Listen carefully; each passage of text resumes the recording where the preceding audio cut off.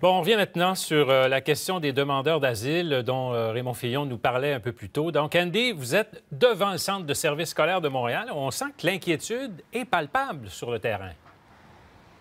Bien, clairement, l'inquiétude, elle est réelle. Souvenez-vous, ce matin, le Québec a voulu vraiment envoyer un message fort avec tous ses ministres, un à côté de l'autre, pour demander finalement qu'on fasse quelque chose et rapidement à Ottawa pour réduire, disons, l'afflux des demandeurs d'asile. Vous avez raison, on est devant le siège social, effectivement, sur Sherbrooke, du Centre de services scolaires de Montréal. Ici, au premier étage, Sylvain, il y a ce qu'on appelle l'accueil. Donc, l'accueil des nouveaux arrivants.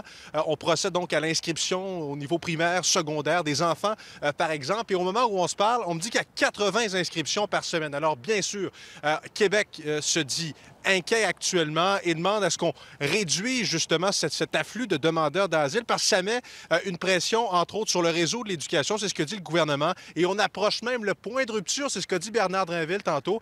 Je me suis entretenu avec M. Ouimet. Euh, il est à la CSDM, euh, CSDM et donc me disait en entrevue aujourd'hui que c'est vraiment un record actuellement cette année. Tout de suite, on va entendre un extrait de l'entrevue qui m'a accordé à peu près une minute cinquante. Vous allez voir, propos très intéressants avec des données qui montrent effectivement qu'actuellement, ben, on se gratte la tête et on se demande comment on va faire pour y arriver.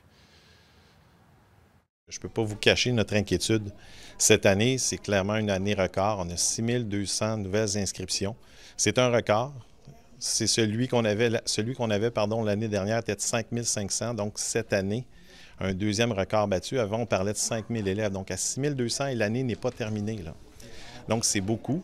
L'enjeu, c'est beaucoup le recrutement des enseignants. Présentement, on est à la recherche de 16 enseignants.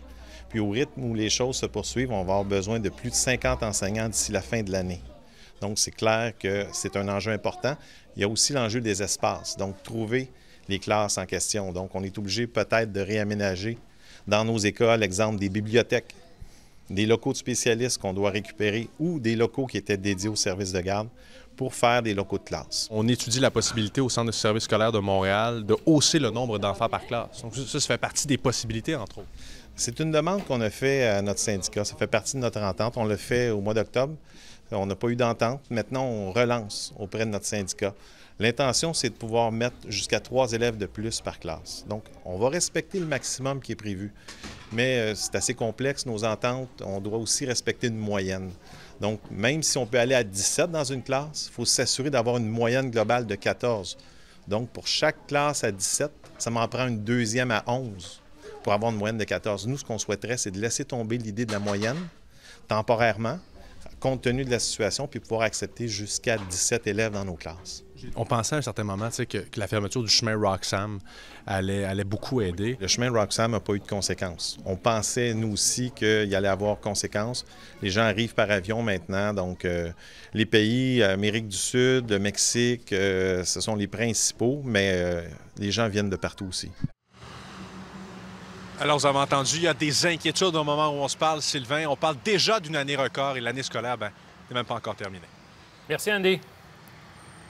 Au revoir.